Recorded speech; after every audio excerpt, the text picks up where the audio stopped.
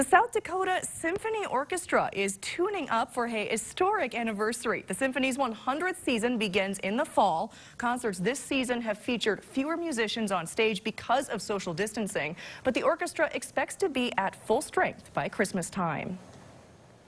The most important thing is that the South Dakota Symphony Orchestra keeps the music going for everyone. That has been our goal from the very beginning of the pandemic.